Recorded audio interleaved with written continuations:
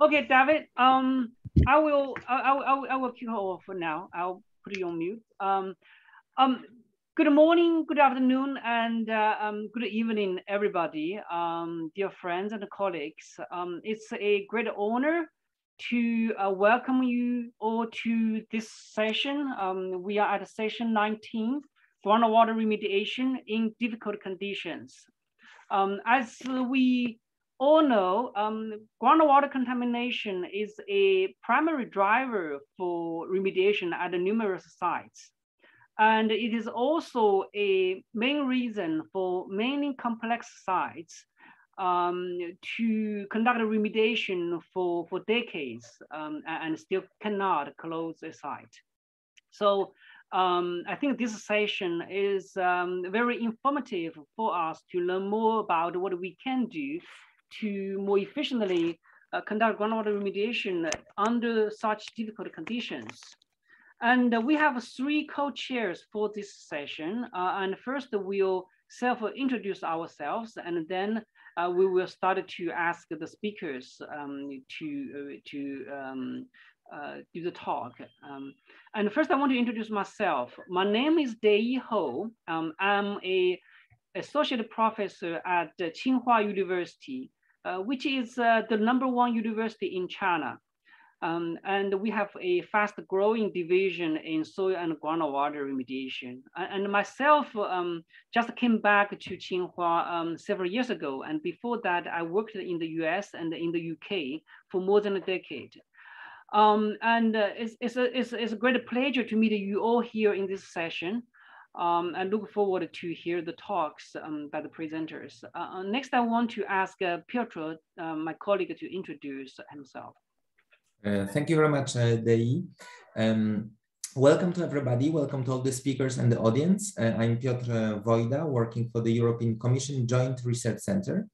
It's a science hub providing some policy support and research um, to the Commission and also um, uh, working um, personally on the soil aspects. Uh, so um, I'm um, groundwater uh, engineer uh, by uh, training, and I joined the soil team um, at uh, the JRC, um, looking at pollution aspects, contaminated sites, and also um, the cycle of air, water, and soil pollution, and of course the, the big initiative of the European Commission, Zero Pollution Ambition, that we are uh, introducing. So I'm, I'm, very happy to participate in this session and to um, uh, discover all the presentations. Thank you very much. Thank you, Piotr. Uh, David, could you introduce yourself?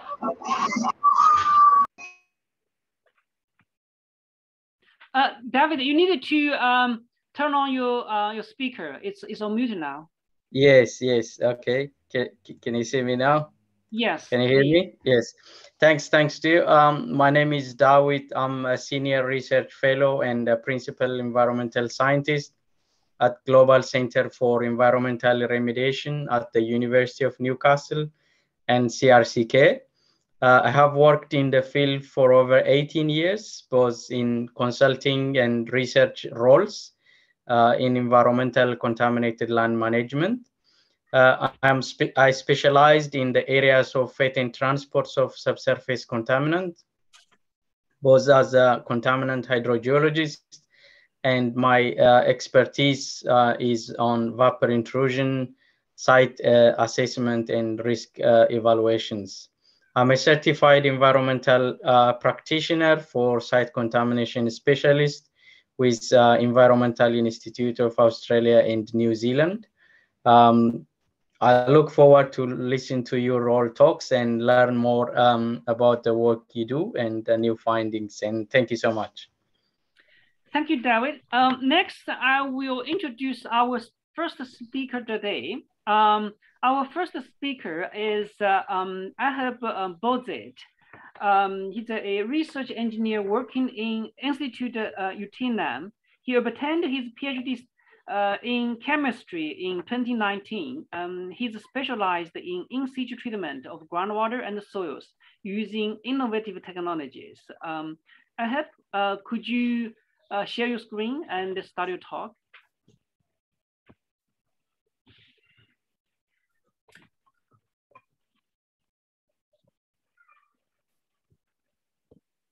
Uh, thank you, thank you, uh, Deyi. Yes, go ahead, please. Hello, everyone. So today I will talk about the results uh, we got at pilot scale for the improved in situ remediation of a high velocity anisotropic aquifer using polymers. This work I'm about to show you uh, is a part of the project FAMOUS uh, that was co-founded by the French Environment and Energy Management Agency. It involves five industrial and academic partners in the domain of soil remediation. Actually, it aims at developing and assessing new technologies for the remediation of anisotropic high velocity aquifers contaminated by chlorinated compounds. So the study site is an active chemical plant. It's located above a highly anisotropic soil in which flows a high velocity and deep aquifer, and water velocity is around 10 meters per day. As you can see here, um, in this picture from soil samples on the site, we have an alternation of sand and gravel with no clear continuation. So on this site, uh, we have a contamination by hexachlorocyclohexanes or HCH and trichlorobenzenes or TCBs. So this contaminant is mostly absorbed, uh, absorbed since no DNAPL is known. So in this case, in situ remediation is advised since the access to contaminants is hindered because of the depth. However, when using traditional fluid like water, uh, soil anisotropy and heterogeneity leads to uncontrolled radius of influence or ROI, to fingering to preferential flows and the heterogeneous distribution of our amendments. Thus, low permeability zones are badly swept and remain untreated.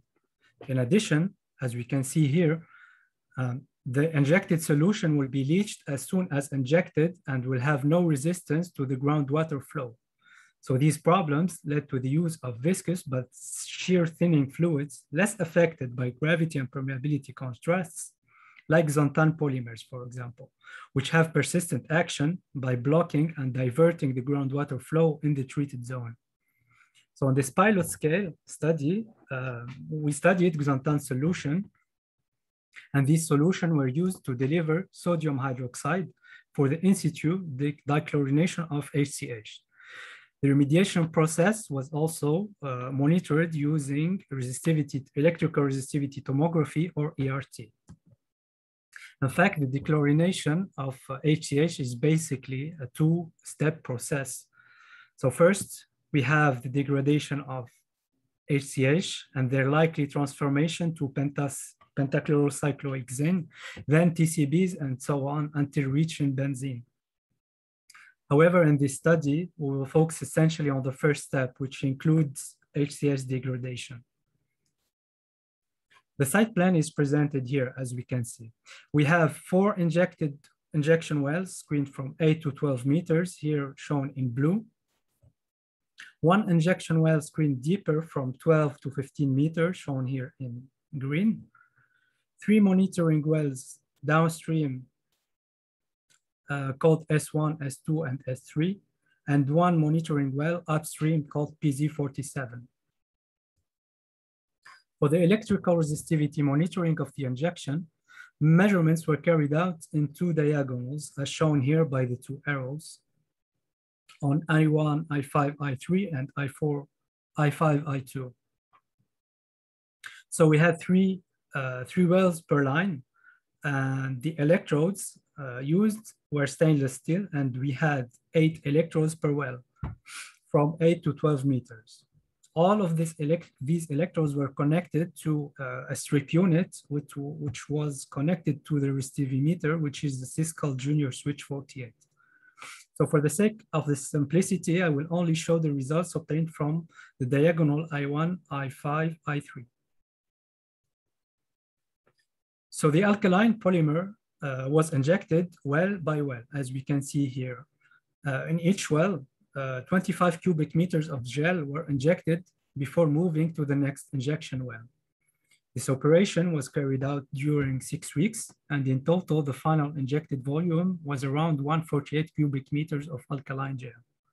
Considering ERT images were taken periodically, first before the injection as an initial state of the medium, then during the injection into I5, the injection well I5, then three days after injection, all the injection of uh, all the, the, the 148 cubic meters, and finally three weeks after the injection to see the persistence of the injected solution. So I will start by presenting the ERT monitoring results. As you can see here, we have different images at different injected volumes of the gel. These images are the, as I mentioned before, I3, I5, I1 diagonal. So the first image here was taken before any injection. And as shown, we can see that the resistivity of the medium was high and reached almost 137 ohm meters. After injection, injecting small uh, volumes of the, our alkaline solution, the ground resistivity drastically changed as we can see here and became less resistant. So the resistivity of the medium was very low and reached almost three ohm per meters. This clearly shows that uh, the, the injected solution flowed as intended uh, and as uh, also as a flat front, as we can see from the shape obtained from two and five cubic meters. It is important uh, to mention uh, that for these images, only five electrodes were used since we had no electrical uh, contact for the, the three electrodes which were in the unsaturated zone.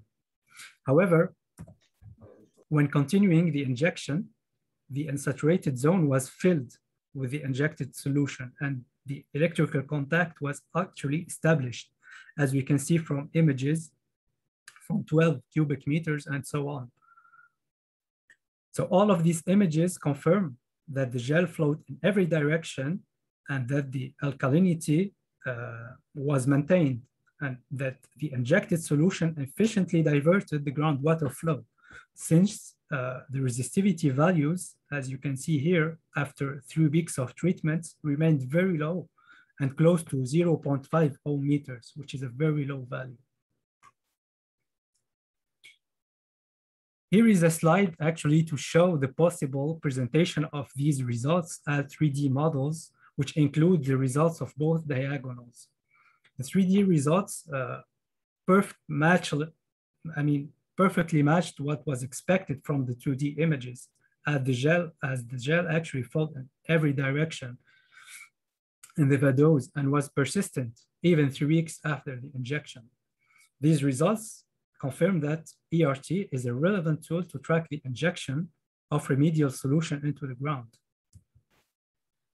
Some physical-chemical parameters were also monitored in wells, such as conductivity and pH. The graph on the left here shows that conductivity values increased simultaneously in the six wells, which means that our injected gel reached the wells at the same time and flowed in every direction, which also confirms the ERT results we have obtained. Considering pH measurements in wells, high pH values reaching 11 were recorded uh, over the five wells heights after the first just the first 25 cubic meters. Only I6 was alkaline after the injection on its screen depth, which is deeper than the other uh, five wells. We also noted that the pH remained high several weeks after the end of the injection, which means that the gel was not leached by the fast groundwater flow, which was likely diverted. Groundwater quality uh, was carried out by monitoring HCH degradation downstream in S1, S2, S3, and upstream in PZ47. And here are the results of HCH analysis in groundwater before, during, and after the injection, upstream and downstream. So for example, in upstream in the PZ47 well, HCH degradation reached almost 80%. And the slight increase we see here during injection phase is likely due to the mobil mobilization of HCH from downstream. For downstream monitoring wells, S1, S2, and S3, we observed that for S1, we had a probably, or we had a leaching without degradation, which explains the low degradation rate of 17.5%. But for S2 and S3, HCH was strongly de degraded at degradation rate almost reached 98% for S2. Then the soil was drilled for analysis one month after the injection. The drilling position are presented here by the black points and they were situated between each injected uh, injection well and was carried out over uh, the whole depth from surface to 15 meters below ground level. And here are the results of HCH analysis in soil cores before and after treatment for the two heights. So the results show that for both height from 0 to 15 or from 8 to 12 meters, which represents the screened, uh, the screened height for the gel injection, the results show that HCH degradation was very high and reached almost 84% for the 8 to 12 meter section, which confirms once again that our solution actually flowed in every direction and was persistent. Also, very important, it's noteworthy that HCH degradation will be even more lowered since the reaction is likely still in progress, which will be confirmed by a last ERT image will be carried out soon. Um, then chlorobenzenes and benzenes, which can be uh, uh, byproducts of HCH degradation, were also monitored before and after treatments. And actually for all of them, we had no significant variation. For TCB, for example, which is a possible by, by a direct byproduct of HCH degradation, no significant changes were observed. However, it is noteworthy that if if we consider that 100% of the HCH was converted to trichlorobenzenes, we will only have a very low TCB concentration generated of about 90 to 110 milligram per kilo, which is very low considering the initial TCB concentration measured on site. So as for conclusion, we showed that our alkaline gel had a good injectability, which decreased with filling of the soil. We also showed that ERT is a relevant tool for inter-well vision during injection and monitoring. ERT and conductivity results showed that the gel propagated in every direction, including upstream, with only small scale fingering, which was reduced with the injection. The gel and the alkaline condition were also persistent over three weeks after the last injection, as was showed by ERT results. We also had excellent reduction of HCH concentrations in water and soil after a month at uh, targeted depth and beyond. And as I said before, those concentrations are likely to be more lowered since the reaction is still in progress. And considering other byproducts, we had no significant change for TCBs, uh, CBs, chlorobenzenes, as well as for dioxins. Finally, I would like to thank Solvay and ADEME for financing this project and thank you for your attention. Uh, thank you very much, I have, um, this is a great presentation. And um, for all the um, participants, um, I, would like to encourage you to uh, raise questions uh, and put it in the chat box and we will collect the questions for the speakers during our panel discussion at the end of the session. Uh, next, I will introduce our second speaker, um, Craig Cox. Uh, Mr. Craig Cox is a geologist and he serves as a president and principal scientist for Cox Colvin Associates. Uh, he is responsible for providing managerial and technical oversight on major environmental projects conducted by the firm. Now, um, let's welcome Craig. Please go ahead. Thank you. Um, my talk today is about uh, two sites in, in Ohio that had uh, the same VOC or suite of VOCs, but very different outcomes when it came to groundwater uh, cleanup. So let's take a look at the two sites. Uh, they're both in, uh, in Ohio, which is in the Midwestern portion of the United States.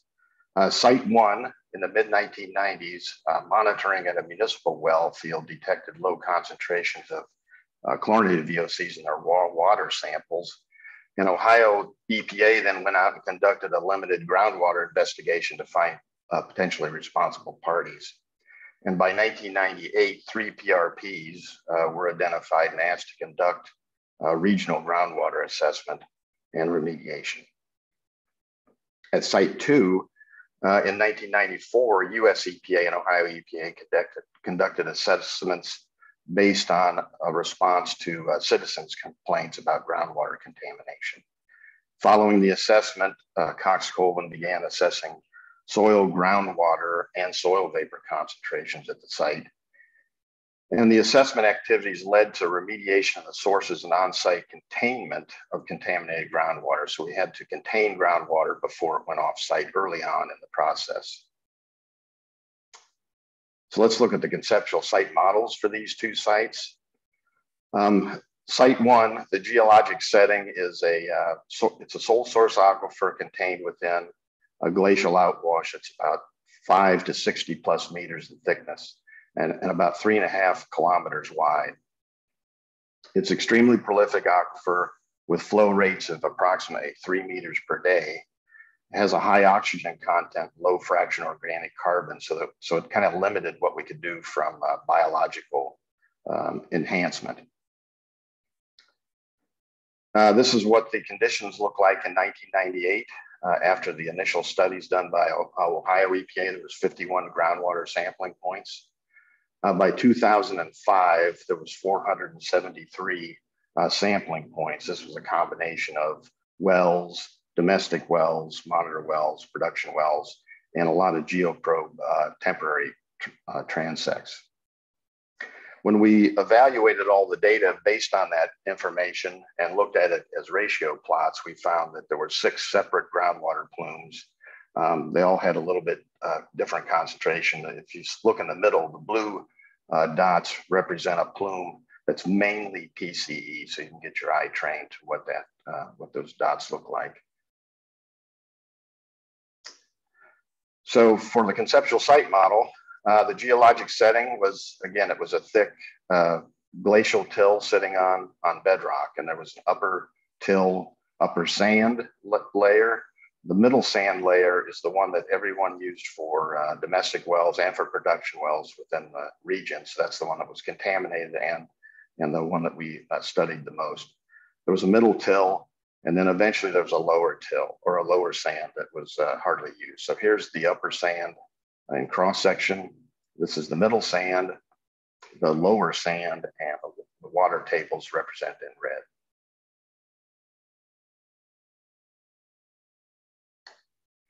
Uh, the contaminant suites were PCE, TCE, and TCA.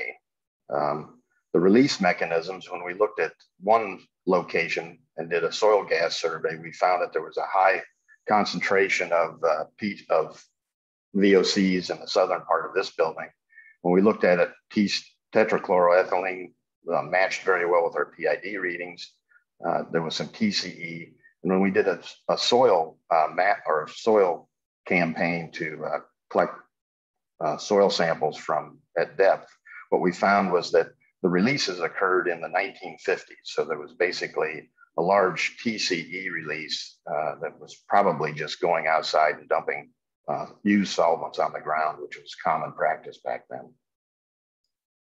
For fate and transport, in the vadose zone, the residence time is measured in the order of decades. So this happened in 1950, and in two, 2020, it is still a very strong source. So, it, it, you know, it could be a century uh, later that these contaminants will still be in the vadose zone. In the saturated zone, um, the residence time, though, however, is measured in years because uh, once it, it eventually leaches out in, in very slow progression to the aquifer, um, then it, it, travels very quickly at, at, on the order of 10 meters a day. Um, these are dissolved concentrations in an aerobic uh, situations. So the second site is a uh, Pennsylvanian sandstone, which is much different. So it's a, also a primary source of drinking water, 20 plus meters of sandstone bedrock with glacial overburden. But the groundwater flow rate in this set, in this situation is very limited. You know, a tenth or, or less than what the flow rate is at the, at the other site. So here's what our groundwater situation looked like from 2005. We had widespread contamination at the site, which required us to put in a containment system, pump and treat system early on so that we could keep contaminants from moving off site. Uh, eventually, seven source areas were identified. And so let's look at how that looks on our geologic setting in this one. So what we can see is we do have, you know, this rain of contamination coming through the the uh, or the glacial and lacustrine till that's above the bedrock. Once it reaches bedrock, which is very shallow, it runs down through fractures in the porous bedrock and then is migrates off site. Its contaminant uh, suite is very similar to the first site, PCE, TCE, and cis-1,2-DCE. The release mechanisms were through the back doors and storage areas where they use solvents and the sanitary and uh, floor drains uh, were in bad repair. And they also had a septic system. So a lot of the, the releases were actually from the processes in the building, washing off the, uh, the contaminants into a septic system, which was basically a direct injection into the bedrock. For fate and transport in the vadose zone, again, we have this residence time on the order of decades uh, with DNAPL concentrations in an aerobic environment. And for the saturated zone, the residence time is again in decades because the, the groundwater flow rate is so slow. Um, and it's saturated conditions because again, it, the DNAPL was able to, to be transported directly into the saturated zone very quickly. So here's, a, uh, we'll discuss the remedial actions that were taken and the outcomes. At site one, we had three sites that stretched uh, quite a long distance from one another that were evaluated and, and remediated. The first one was basically a TCE, TCA source, about 85 cubic, 8,500 cubic meters of material. They used ASSVE and in situ thermal desorption at a cost of about two to four million dollars. At the second site, there's again about 8,000 cubic meters of source area that was remediated. This again was ASSVE, some excavation in areas that were easily excavated, uh, followed by potassium permanganate injections and EZVI in one situation. And that cost was about one and a half to two million dollars. And the third site was about 2,600 cubic meters in a single source uh, because it was easy to get to, uh, we just simply excavated and removed all the source material we could, and then injected a little bit of uh, of uh, oxidant just to kind of do a polishing step, and that was about 0.7 million dollars. So let's see how this went. Uh, plume one is the is the one that we talked about first. It was mostly TCA.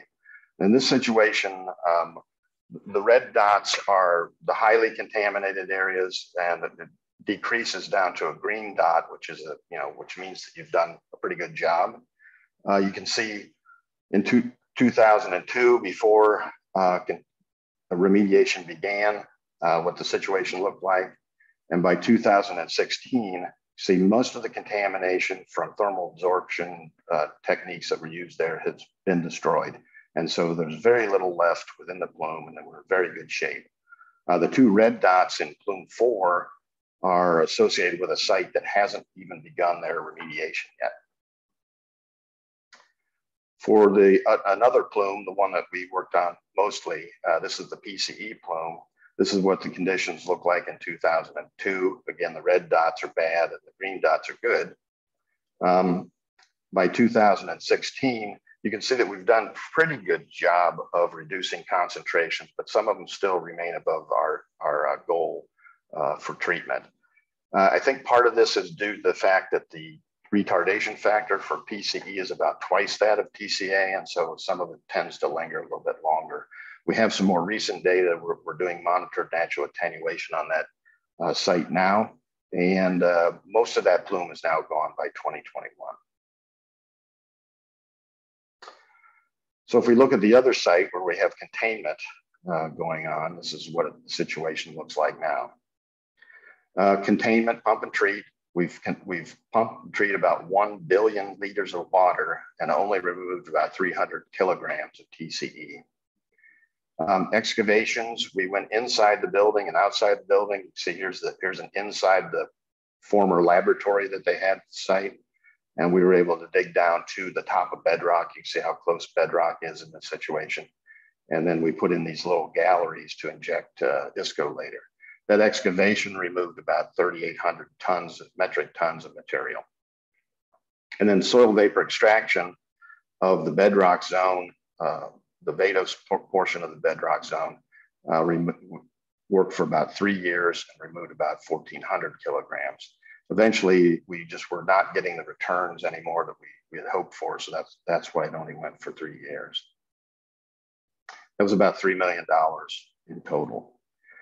So in 2007, this is what the, the situation looked like. Again, the same sort of, of idea of red is bad and green is good. And you see that the contamination across the site is, is really uh, exceeds five times our, our goal. And by 2020, you can see very little has happened.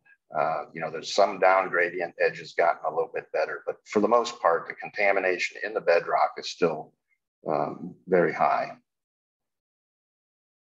So the lessons that we learned from all this, uh, first is the release mechanisms for the two sites were very different. One was to the till, and, and the second one was direct to bedrock.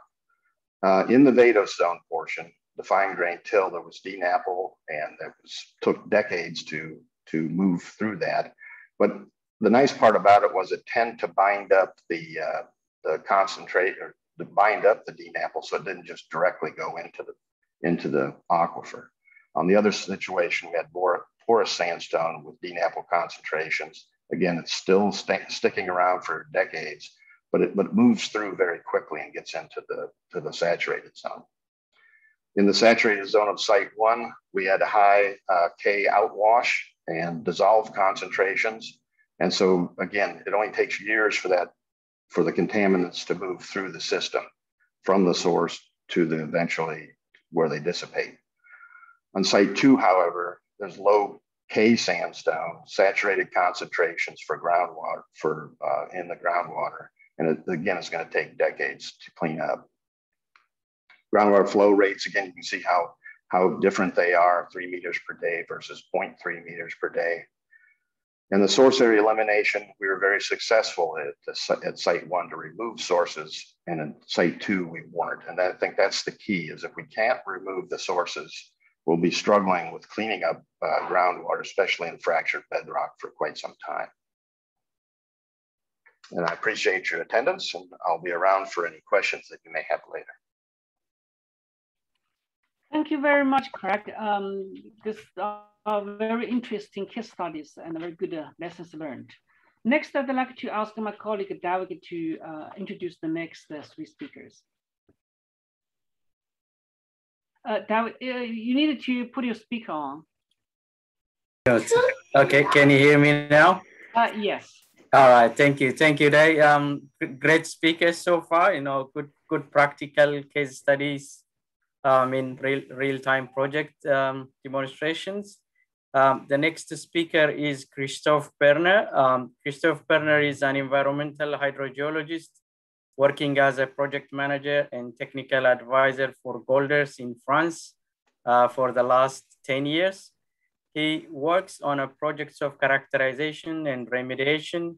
He's also lead laboratory of feasibility test located in Lyon. His presentation is on feasibility test of remediation of an hexavalent chromium contamination by contamin uh, chemical reduction.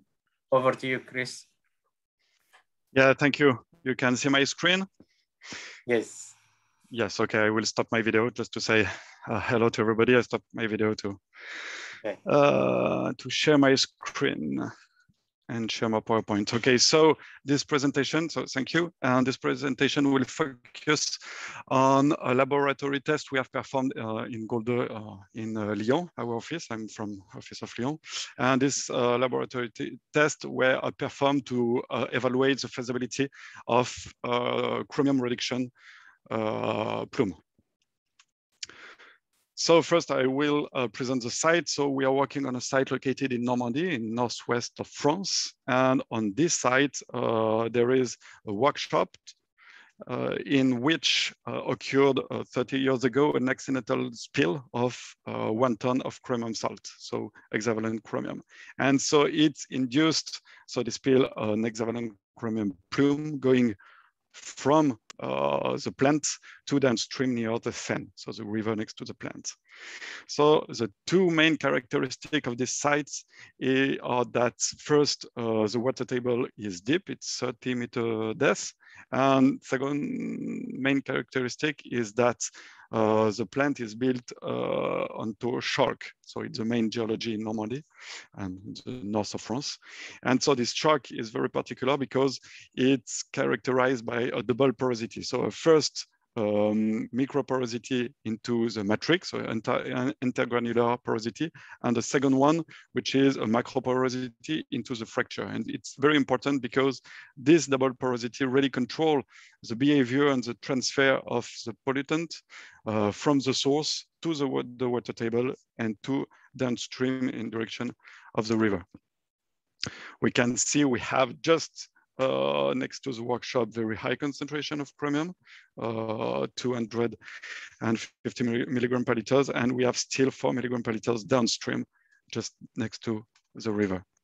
And so our work uh, on this site uh, is to find and to compare the different remedi remediation option to find the best one to be able to remediate this site. So the main question or the, the, the, this one. First, uh, we were wondering um, if uh, on this site is more adapted the chemical reduction of the chromium or the biological reduction of the chromium. And the second one, the second question is that um, do we have uh, to treat directly the source or it's a is it the best idea to uh, treat uh, downstream by the uh, implementation of a reactive barrier. So to answer to this question, uh, we have performed laboratory tests, which are part of a global strategy. So we uh, have begun two years ago to, of course, uh, to perform a precise diagnostic of the site to really understand the size of the plume, the depth of the plume, the different uh, hydrodynamics uh, characteristic of the aquifer, so the velocity of groundwater, the porosity, the permeability. And uh, with all this information, we have been able to design the laboratory, laboratory test. And after that, we will perform at the beginning of next year in situ a pilot test to be able to write and to propose a management plan for the administration, proposing the best solution and the best technology to uh, manage these sites. And the strategy was in the laboratory test to compare and to use two different devices two different protocol. So first one, which are uh, the batch test, and the second one, which are the lysimeter test. And we, uh, it, it's the objective of this presentation to um, to explain and to show that both uh, device are important uh, to use, and the information got by these two devices are important to be able to um, to conclude on the feasibility of the the, the rehabilitation. And the second one uh, is a strategy was to test several reductive reagent. So the one uh, used for the chemical reduction of chromium, so the chemical reduction from chromium 6 to chromium 3, which is a less toxic and less mobile uh, form of the chromium. And so the different uh, chemical uh, reagent uh, tested were sodium dithionite, calcium polysulfide, and the, the zero valent iron. And we also have tested some uh, region um, inducing the uh, biological reduction of chromium. And so uh, we have used a, carbon source to reduce water and chromium. On this slide, I just want to precise and to talk about the different advantages of disadvantages of each device. So the batch, which is a very known and used uh, protocol, the batch test, uh, they are very used because these these are uh, small devices in which we put uh, soil and water with a ratio of 1 per 10. So it's a small and rapid protocol allowing to test many modalities so we can run multiple trials in parallel. But the main disadvantages of this uh, protocol is that when you mix and you stir soil and water, you create a, a sludge. And so you work on disaggregated soils, uh, which are totally non-representative of the chalk double porosity. So we already know that this protocol um, induced uh, an overestimation of all process of desorption, solubilization of compounds. So we also have used a lysimeter, which is a big column uh, in, in glass, uh, says, uh, says 16 liters uh, column, which is filled, uh, I can remove that, sorry, which is filled uh, with intact chalk cores. So we keep the double porosity of the matrix and so we, it, it is this test representative of the double porosity of the material. And in this column, we inject the reagent or water to wash the column with a flow rate, which is really representative of the flow rate uh, occur, occurring into the um, aquifer. So these are the main advantages, but there is a main uh, disadvantages too, is that uh, it's a long uh, test, uh, difficult to prepare and to operate. So uh, we cannot test many, many modalities with that kind of device. So the best solution is to begin uh, to test many modalities, many region, many dosage with the batch. And after that, to confirm the result with more representative test, which is a lysimeter one. So uh, more precise about the batch protocol, um, the um, batch were filled with uh, uh, first soil, so soil which were sampled uh, on site at 10 meter depth in the impacted zone. And so the soil used were uh, impacted with 2,700 milligram per kilogram of chromium, which are mainly some, of course, uh, chromium hexavalent.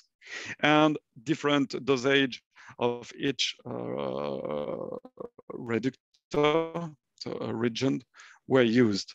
Um, and the tests were operated, uh, performed during 40 days uh, duration with six intermediate, intermediate sampling of aqueous phase to analyze the residual uh, chromium 6 and chromium 3. Um, so all the results we got uh, have been compared to a blank, so to a standard uh, batch in which we have not inserted uh, any reagent. And uh, the result of the standard are presented there. And so we can see that just after one days of mixing with the of soil and water, we got in aqueous phase uh, concentration of 300 milligram per liters of chromium 6 and 50 milligram per liters of chromium 3. So high concentration of chromium into the aqueous phase. So uh, representative of desorption of chromium. So we can compare uh, this result with the residual uh, concentration we got with different uh, reagents.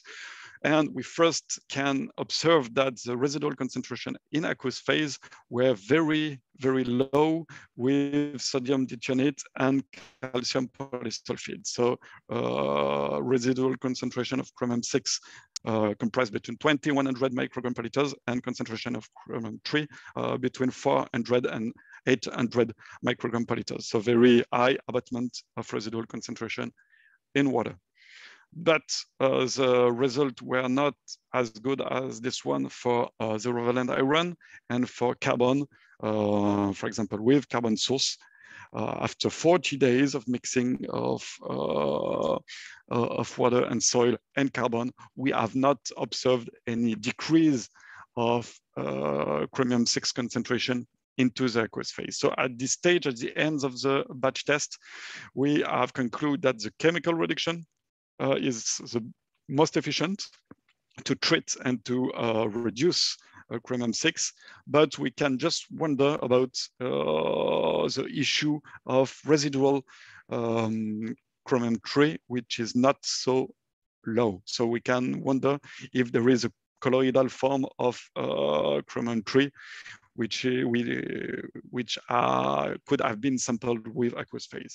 And we have concluded that we in this geology, biological reduction has been inefficient, maybe because we have sampled soil so uh, very deep, because the contamination is very deep, and because maybe because uh, the microbial biomass into the soil very deep is not developed enough.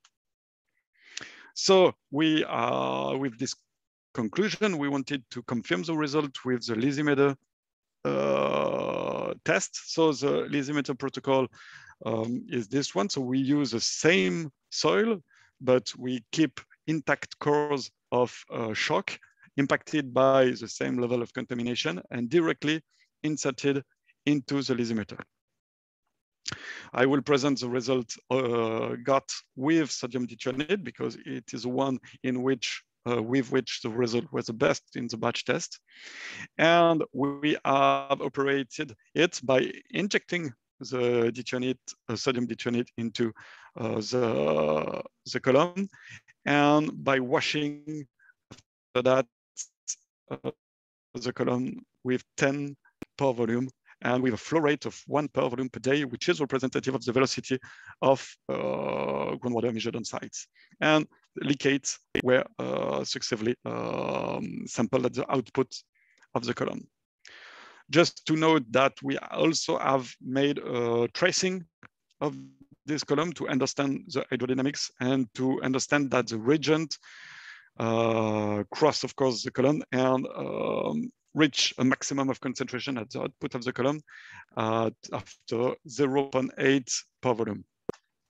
This graph presents a concentration of chromium at the output of the column after the first washing without any region. So we can observe that, of course, at the beginning of the washing, we got very high concentration of chromium, uh, chromium 6, very low concentration of chromium 3. This concentration decreased very quick. And after five volumes of washing, we got an equilibrium and we got a concentration of 80 milligram per liters of chromium 6 uh, this concentration is lower than the one observed at equilibrium, equilibrium in the batch. But you remember that we said that the batch uh, overestimates the solubilization of chromium. So this concentration at, at equilibrium is um, closer than the, the, the reality. So the most important result are there. So first, we have uh, injected into the column uh, sodium dithionate and washed it during uh, five per volume of water. And we can observe that after the injection of the region, we got a concentration of 6, which is near zero microgram per liters and we get it's difficult to see because of the scale but we have a residual concentration of chromium 3 which is uh, the same as in the batch test. It's interesting of 700 microgram per liters of chromium 3 so we confirm this issue with chromium 3 so that's why we have tested to add with sodium dithionate another uh, compound which is sulf uh, iron sulfates. And um, it's uh, interesting to observe that when we uh, inject both sodium dithionate and iron sulfate, we got at equilibrium, so during five per volume of washing after the injection of the reagent, a concentration of chromium 6 of zero and a concentration of chromium 3, which is two, very low, two microgram per liters. So it's important to uh, note that to reach uh, to the, the good feasibility and efficiency of this kind of test, we have to add iron sulfate to precipitate and uh, immobilize chromium 3 into the porosity of the soil and to prevent on transports with groundwater. Last result is that we is that one. we were rendering, wondering, sorry, at this stage, what is risk of uh, rebound effects by retrodiffusion of chromium, for example, from the enteroporosity of the chalk to the microporosity. And that's why we have performed and run a very long-term um, uh, washing of the column, which was treated, remediate, during uh, 80 per volume. So during 80 days of washing. And so we can see, of course, there is a low increase of chromium concentration at, at, the output. That means that there is a retrodiffusion from the enteroporosity to the microporosity of this chromium, but this rebound effect is acceptable and very limited because it's uh, we have only after 80 per volumes only 20 microgram per liters of chromium 3 and less than 100 microgram per liters of chromium uh, 6 and we are directly in the source so we can say it's acceptable. So we can conclude that um, the batch test, course, are very useful to test many reagents, many dosage, but it's very interesting to add a second device, which are the lysimeter test, because they allow the, the understanding of real process, including, for example, the effect of colloidal transport in a flow rep representative of in situ flow. We have shown that sodium dithionate is adapted to this site, this particular site, to remediate the chromium plume, uh, the chromium source and chromium plume, of course. And we observe that we have to add some iron sulfate to uh, precipitate chromium 3. And mainly we have observed that the rebound effect is uh, acceptable. So we can go through now pilot tests to confirm uh, all we have observed in laboratory to propose to administration the treatment of the sites with sodium dithionates. I thank you and I will be uh, happy to answer to, to your questions.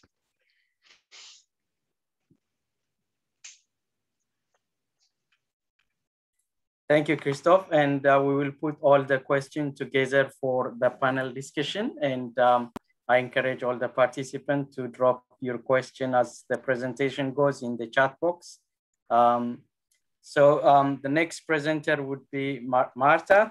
Uh, she's a postdoctoral research in the Department of Chemistry at uh, Sapienza University of Rome, Italy. She's working principally on alternative and more sustainable approach to promote the anaerobic reductive dechlorination using low cost and bio-based material from renewable resource. She's uh, industrial chemistry by trade and she did her PhD in chemical engineering. And uh, her current postdoctoral work focuses on biochar applications and combined with biological remediation technology. Over to you, Marta. Yeah, thank you. Hello, everybody. So I'm going to show you this biological uh, reactor realized with the polyhydroxybutyrate and biochar as a possible combination of uh, the two mechanisms, the absorption and biodegradation to remove trichloroethylene. So here are summarized the, the main characteristics of a contamination scenario by uh, chlorinated solvents. So uh, the problems are uh, used, uh, often linked to the accumulation and the formation of the slow uh, secondary sources of contamination. And um, especially because we have to face with the phenomenon of aging and back diffusion and the formation of long distance plumes of contamination.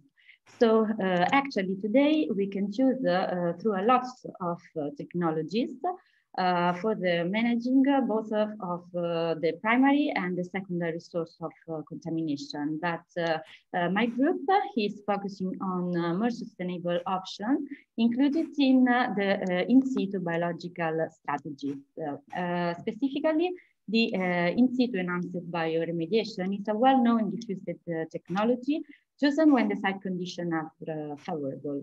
We are particularly interested uh, in the anaerobic reductive uh, dechlorination, which is a step-by-step -step, uh, reaction um, mediated primarily by the thanks to a substrate that supplies the electrodonor.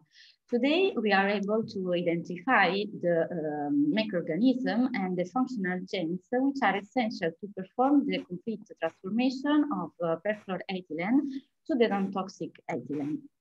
To deal with uh, some uh, limitation of the only biological strategy, uh, and also to reduce the diffusion of the plume of contamination, the addition of uh, a physical chemical uh, approach combined to the biostimulation could be a good choice. Uh, our team have worked on uh, contaminated sites in Italy where the adsorption and biodegradation were combined to further meet uh, the, remediation objective.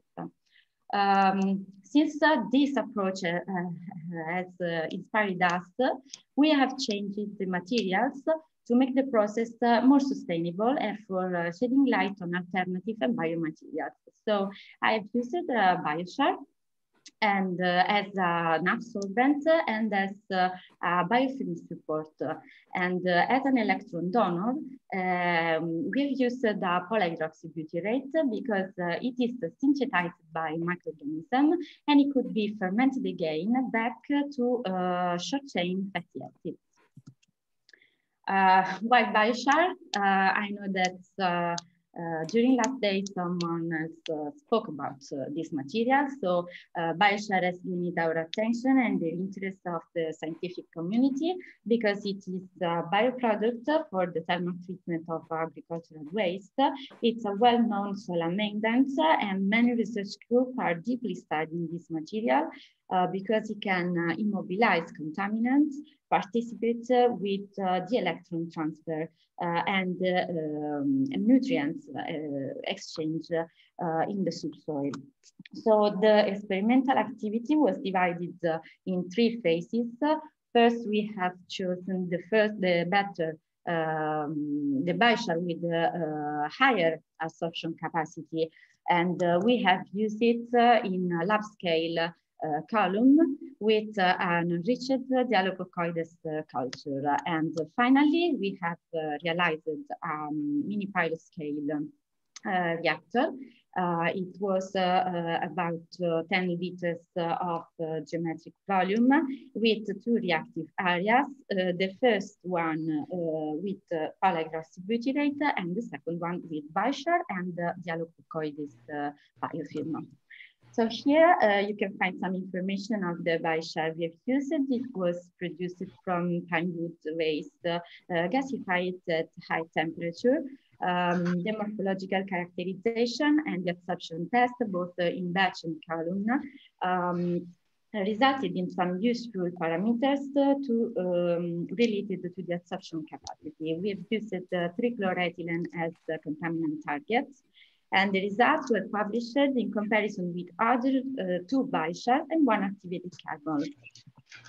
I will go directly to the uh, PHB uh, reactor. So uh, some details on how we have prepared this uh, reactor. The soil was proceeded wet and the fermentation zone was prepared by mixing both powder and pellets of uh, uh, polyhydroxybutyrate to test the long-lasting effects of these uh, two different forms.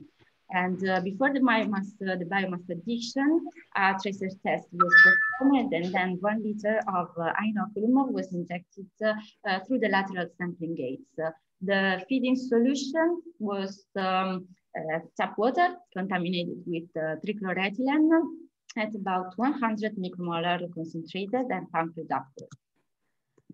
these are the condition, working conditions uh, for the first six months, uh, was uh, the test started on September 2020, and these are the results till February.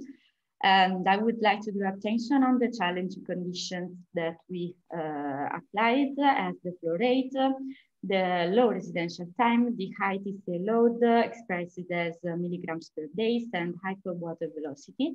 Uh, the reductive uh, dechlorination reaction and the fermentation of the biopolymer was uh, monitored by daily and weekly sampling of the liquid phase and uh, also uh, a volume was also sampled for the microbial analysis. Um, as you can see, uh, the results, the monitoring of the chlorinated compounds uh, uh, during the first week, so during the startup phase, um, showed that the absorption was uh, the dominant uh, mechanism since the trichloroethylene disappears only from the gate number eight, uh, where the biocharts started. Um, we immediately noticed that uh, polyhydroxybutyrate fermentation had begun since acetate and butyrate were detected in the samples. After one month of operation, uh, we can see that uh, already in the first zone, the trichloroethylene is complete, was completely uh, converted in the cis dichloroethylene, but uh, uh, the intermediates were um, absorbed also in the biochar uh, zone, ensuring um, effluent with uh, chlorinated compounds under the detection limits. To make a kinetic uh, interpretation of the data, we can report the concentration of the compounds against the time in the reactor. So here you can see simplified uh, at different days of operation and improvement in overall kinetics uh, in terms of uh, trichloroethylene removal can be observed. Uh, this is surely caused by the acclimatization of the biofilm and also uh, by a general increase of the biomass in the reactor itself. But uh, uh, it is interesting to notice that each zone, each reactive area uh, was able to complete uh, the first step and then the second step of the uh, biological reductive chlorination. And uh, at the end of the reactor, we have the complete conversion in vinyl chloride with tracer of ethylene. Uh, I would like to uh, say that ethylene was revealed, but we cannot quantify it due to analytical limitation because we have we analyzed only the liquid phase. Um, here are reported the results of uh, the VFA production monitoring. So you can see some um, some period uh, we observe uh, um, a peak in the first period, uh, certainly due to the uh, rapid fermentation of the powder. On the other hand, the pellets required more time to be from the mm, microorganism, and this is uh, uh, due to the higher crystallinity of the pellet form and uh, um, reduced surface area. So in this period where you can see um, lack of electron donor supply, we uh, actually um, feed the reactor for three weeks with lactate. And during the Christmas break, we uh, stop the feeding and uh, this allows to um, the to start the fermentation also of the pellets so from january we have observed uh, the um, fermentation has begun since VFAs were detected constantly. And uh, I would like to uh, say that after these are results uh, till February, but this reactor has worked continuously till June without uh, um, any other PHB addition. So this is another way to see the results. Uh, this is the influence versus uh, the effluent uh, as uh, mm, with this the increasing of the working days of operation. so clearly no breakthrough points for TC was observed and the removal of trichloroethylene was quantitative for all this investigated period. And in addition, for the first 50 days, uh, no chlorinated uh, compounds were uh, detected in the effluents because biochar slowed down product release due to the absorption effect. Uh, I would like to point out this concept, these uh, problems linked to the ethylene uh, quantification, but corresponding to this uh, decrease of chloride, uh, maybe uh, the biofilm was able in the last zone of the reactor to convert uh, and to produce also uh, ethylene. So the combination of these uh, two approaches, the absorption and biodegradation, uh, made it possible to, to remove uh, 16 kilograms of trichloroethylene without desaturation of the absorbing the material. These are the next uh, generation sequential analysis of uh, different sample uh, comparison between the inoculum we have injected and the sample at PHB zone collected at PHB zone, biochar zone, and in the outlet, we can see that despite the difficult conditions of working, the uh, Dehalococcoides uh, enriched the biochar zone. We are waiting for the results uh, of more detailed analysis, such as metagenomic analysis uh, and quantitative PCR from the colleagues of uh, IRSAM.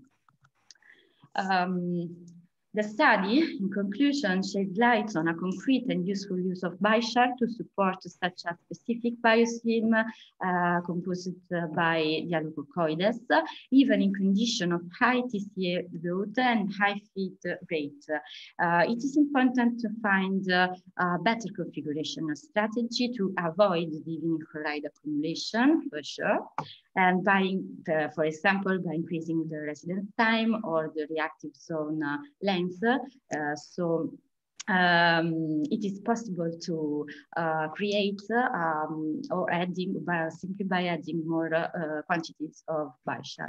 To comply with the principle of the circular economy, uh, one idea is also to replace the commercial PHB with polyhydroxyalkanoates from mixed uh, microbial culture by using organic residues. Uh, and um, this is a possible um, a schematized proposal of a possible application. So if you're interested, uh, I advise you to read some papers about uh, this uh, uh, uh, produced by uh, mixed microbial culture because um, they are very interesting and innovative materials we can use, for example, by adding a biomass rich of these uh, biopolymers directly in the subsoil to prompt the indigenous uh, activity uh, thanks to a slow release of electron donor.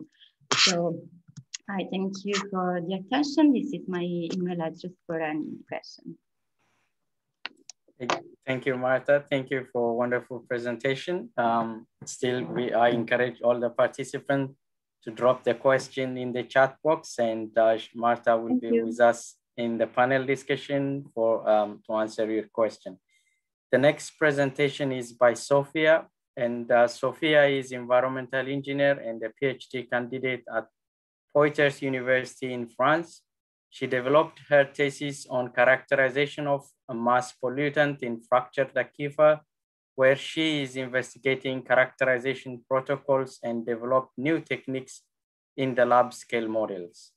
Her talk is on DNAPL of chlorinated compound in fractured media, mass transfer and mass assessment. Please join me to welcome Sophia. Hello, good afternoon.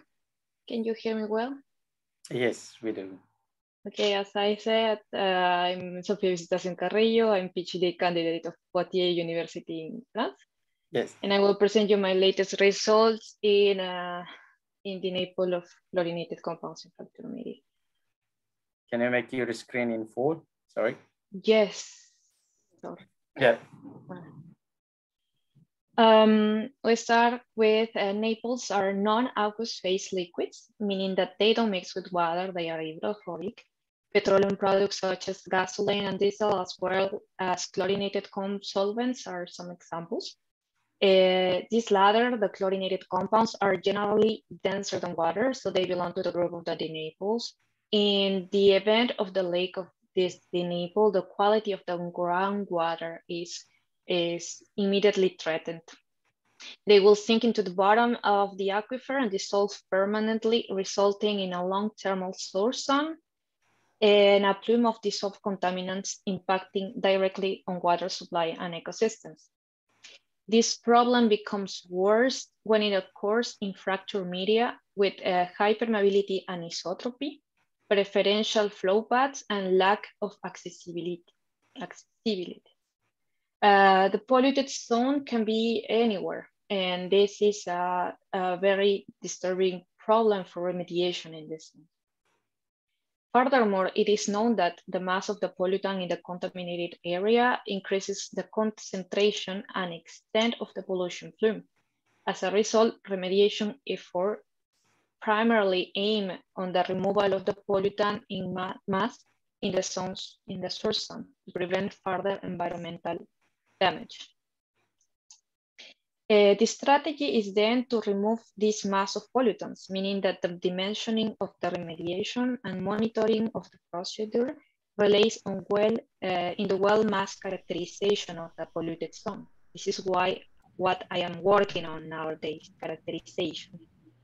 Uh, among the scarce characterization tools, we can find the PIT technique, partitioning interwell tracer test, uh, which can evaluate large volumes of contaminated material as well as the mass uh, and average saturation of the. It's an integrative technique that dates back uh, to the 90s and has been thoroughly evaluated in an alluvial environment. It implies injecting a conservative tracer as well as numerous, uh, numerous partitioning tracers at the same time. The differential in the affinity of these tracers, the, the partition coefficient, will then result in a chromatographic separation within the contaminated zone here. Uh, tracers with higher affinity for the NAPL in red um, will have will show a more delayed signal to respect with respect to those with non-affinity in blue. But knowing the volume swept, uh, we calculate the saturation and uh, of the contaminant phase in the environment and therefore the mass of the pollutant using mathematical analysis of this delay. Uh, the PIT, uh, this technique is typically performed with a variety of alcohols with different partition coefficients. Uh, nevertheless, uh, large volumes of products are injected, resulting in very high expenses. Um, the alcohols that we use is hexanol, isopropanol. Uh, they need uh, gas chromatography analysis, which might add, might add to the implementation cost. As a result, in this study, we propose the, just, the, the use of fluorophores, fluorescent dyes, which allow us to do cheaper analysis and um, are very simple to apply and also environmental friendly. In order to confirm the reliability of the fluorescent dyes as partitioning tracers, uh, of one selected NAPL, we have analyzed their partition coefficients. Um, the fluorescent dye is added to a biphasic uh, system, as we see in the picture, where um, uh, water and NAPL are included. Uh, the NAPL in this study is a NAPL pumped from a polluted site. It's very black and it's very old, and uh, it's very particular to this species. Uh, then the ratio of the fluorescent dye concentration in both phases is analyzed by this graphic. And uh, uh, is analyzed by the UV visible spectrometry. According to previous studies, like this is here, partition coefficient must empirically prove a linear relationship uh, which indicates independence of concentration. Um, giving the five fluorescent dyes that we do, that we studied, eosin rhodamine B, fluorescein, sulforhodamine, rhodamine WT, uh, all the outcomes uh, in our analysis uh, exhibited a satisfactory linear regression fit, confirming a good agreement with this statement. All of them meaning are potential partitioning tracers. Hence, from the literatures, uh, um, Rhodamine WT is the most suited candidate as a partitioning tracer for, a, for an optimal performance of a pit, of a pit because it's on the range values that have already successfully worked in pit emissions, like uh, the range varies, varies from 10 to uh, some dozen. To test our characterization method and due to their benefits uh, over field studies, uh, we have constructed a lab scale model provide, uh, which provides actually a better knowledge uh, of groundwater flow and solute transport. We chose to build a 2D, 2D box that houses an artificially uh, fractured limestone rock, uh, creating a network of fractures. Uh, they are, there are uh, 77 uh, opening fractures throughout the system, which in, with an average size of 3.7 millimeters in a log normal distribution among all fractures.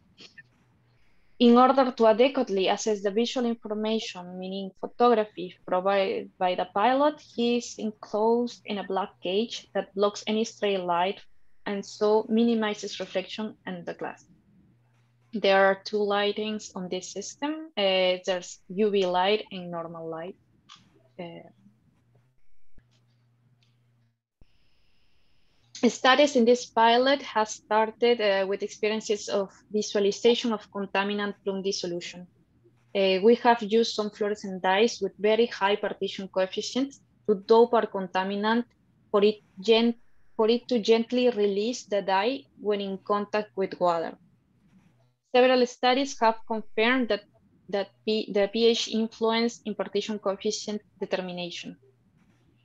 Furthermore, if we analyze, if we analyze the molecular uh, composition of fluorescent dyes, we can understand that if we neutralize the molecule, uh, we can find a good way to reduce their affinity for water and therefore be more soluble in our contaminant. We therefore have drastically changed the pH in the biphasic system to maximize fluorescent dye dissolution into our contaminant. And then we have uh, dropped it in water uh, and we successfully simulate a color plume once we do that.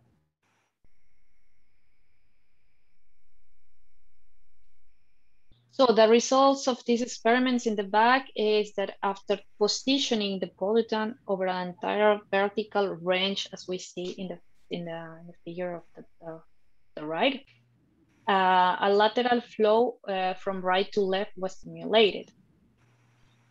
Uh, it can be seen that in the absence of pollution, so the figure in the left, um, the flow is primarily lateral uh, lateral. And the addition of the contaminant, on the other hand, changes the flow uh, directions in the tank. Due to the abundance of the heavy products lodged in the fracture, a densification effect on the water in the plume, in the plume is observed. Um, after passing through or touching the NAPL droplets, uh, the incoming fluid increases its density locally uh, the density of this product as, uh, has been determined by samples at the exit of the system, and it was 1.05. Although it appears to be a minor importance by respect of the density of the water, it was enough to, to obstruct the water circulation and to move uh, and, and to change the directions of the flow in the system. Uh, then we perform a water flow artificial tracing test uh, to understand the, efficacy, the efficiency of tracer sweep. Um, this test um, means injecting a saline colored pulse equal to 1% of the total fracture volume in my tank. And after the electrical conductivity and visual signal of the pulse injection are recovered and used to analyze the experience. The outcomes will be influenced by the network's geometry. The visual result is very comparable to the break, uh, breakthrough curve. Um, a very, a very, a first peak corresponding to an 8% piston flow of the saline tracer is evidenced uh, for the first hand. Later, a second peak comparable to the 88% of the saline tracer recovery corresponds to a nearly successful dispersion of the pulse across around among the fractures. Uh, finally, we arrive uh, to a long tail that corresponds to, uh, to the non-recoverable taste tracers that still, that are still stuck in the tank's dead zones which is as big as 30% of the injected pulse. This is clear evidence of preferential baths, fingering, and dead zones, which allow us to think that heat experience wouldn't be applicable under these conditions. Um, the key challenge is uh, to deliver these tracers uniformly in time and in location. Uh, maximum volume sweeping and recovering of tracers pulse injected are the hallmarks of a strong pit uh, breakthrough curve. And um, we have analyzed immiscible displacements uh, to, to enhance this uh, sweepness. So in an immiscible displacement, uh, we have to understand that increasing the mobility factor or, or viscosity radio avoids, avoids viscous, viscous fingering and aids the entry fluid uh, to present a, flan, a flat front propagation. Therefore, uh, we propose uh, the PIT to be performed with medium to high viscosity fluids as an agent of homogeneous propagation despite the anisotropy uh, of the media. Uh, to use high, uh, highly um, dense, highly viscous composites, we have chose xanthan. Xanthan is a polysaccharide that is an effective thickening agent. And in this experiment, water and xanthan were injected to see how quantitatively effective they were in delivering tracers. The actual swept area was compared to the optimal uh, front. The actual uh, swept area is in yellow and the, in the from advanced in optimal is in the in green. The, they have been analyzed by the base by the base of the of photos of analysis imaging analysis and they were compared between water and xanthan and xanthan solution of 0.2%. The results show that using the gum improves sweep efficiently, efficiency significantly, almost a double. In fact, xanthan values uh, approach one, which is the ideal sweep. And we have a better response into the, into the media. Furthermore, in order to evaluate the influence eh, of xanthan partitioning distribution as a limit to the partitioning, uh, we have in both phases investigated the kinetics of uh, fluorescent dye partitioning. We exposed our contaminant to both aqueous phases, water and xanthan solutions, and watched as the fluorescent dye concentration in the aqueous phases decreased. Scatter has a first order kinetics uh, but most important feature in this um, is that the, according to the fit equation, uh, partition rate coefficients do not differ significantly. As a result, the partitioning of the tracers will be unaffected by the use of the xanthan solution as a delivery agent, which is a very good uh, solution. With these encouraging results, we have performed our first PIT experiments in our pilot our fracture network previously full with water was saturated with DNAPL at 1.2% of its fracture volume. Then the PIT was performed. Uh, at least 10% of fracture volume was injected in a pulse. Pulse contained sodium chloride as a, as a conservative tracer and rhodamine WT as a partitioning tracer. Both were embedded in uh, a xanthan solution of 0.15%. And a groundwater velocity of 10 meters per day were, was emulated and electrical conductivity measurements as well as samples were taken periodically.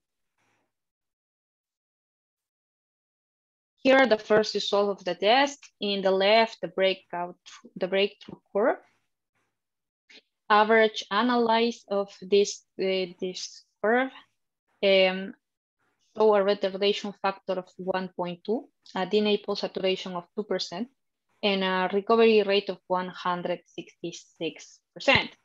Uh, it is important though to analyze the DNAPL saturation curve as a function of a fracture volume delicately, that it is the picture that we see in the, in the right. Uh, knowing the nature of the geometry and location of the pollutant, it starts with an overestimation due to contact with contaminated zone, overestimation. Hence, as we advance in time, it, the tracers will sweep more globally and efficiently all the fractures uh, in the system. And the results are no longer punctual, but global. And we can see that at the end, we are approaching the true saturation of the DNAPL inside, 1.2%. Further studies are in process to analyze which is the, the impact size of uh, xanthan uh, with respect of water or um, with respect of the concentration or the saturation of the pollutant inside a, inside the, inside the tank.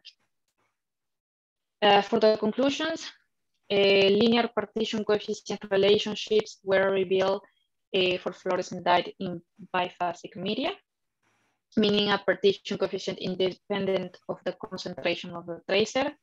Uh, very good results for fluorescent dyes as partitioning tracers.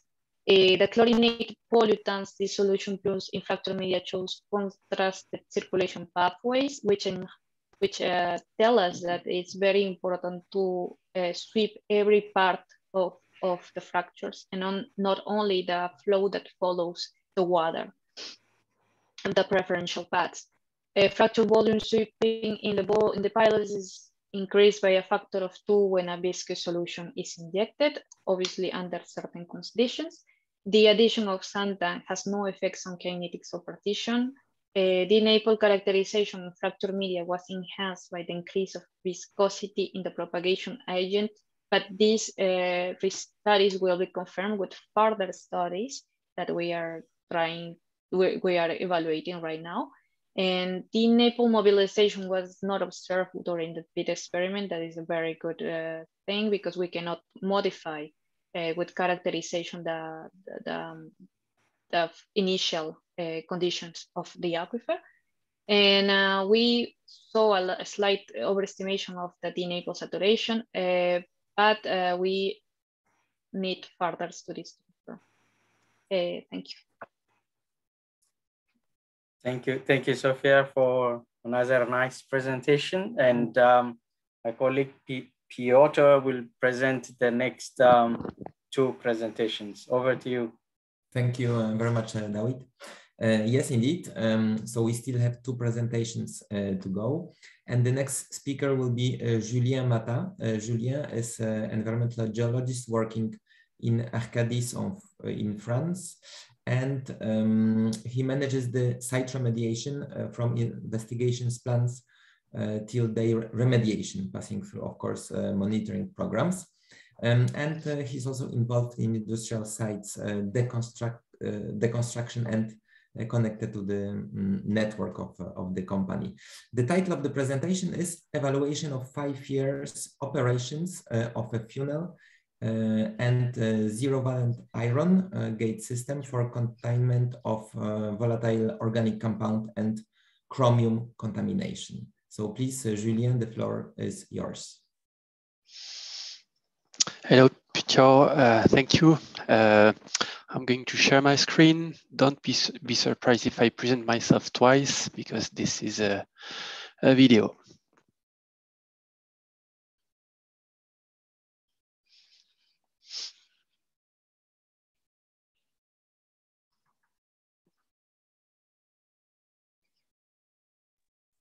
Mm, there is no sound for the time being.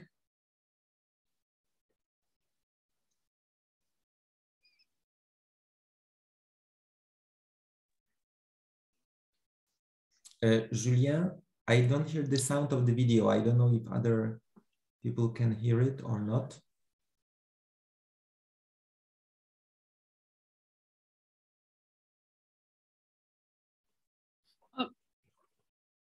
I have some feedback no from sound. The... We cannot hear. Mm -hmm. There's no sound. Uh, so Julien, if you can uh, double check.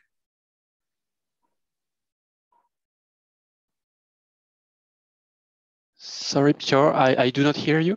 Do you hear me? Uh, I can hear you I... now when you speak. Do you hear me?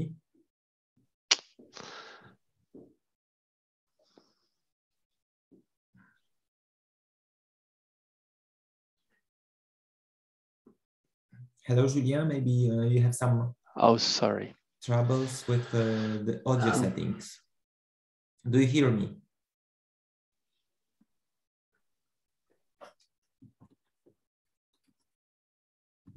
Sorry, Pierre. Do, do you hear me? I can hear you, but uh, I am not sure you hear me. Now, now I hear you. Sorry. Okay. So let me share you, my screen with yours again. Mm -hmm. Okay. Back to the print. Is that better? Mm, I don't see. Online ah, CVI it's coming. It's coming for the now. containment of a VOX and chromium-6 contamination. And we can hear the sound. Here is the agenda of this presentation. I will start by presenting you the context. The action takes place on an automotive plant active since 1968 with existing former chromium plating lines and past solvent uses at the origin of a chromium-6 and VOX contamination. The source area is located below the older production hall with no direct access possible to it. Off-site, the contamination spread out from the boundaries below a residential area. We had a strong pressure from the local authorities during the implementation of that remediation. This slide summarizes the site remediation timeframe.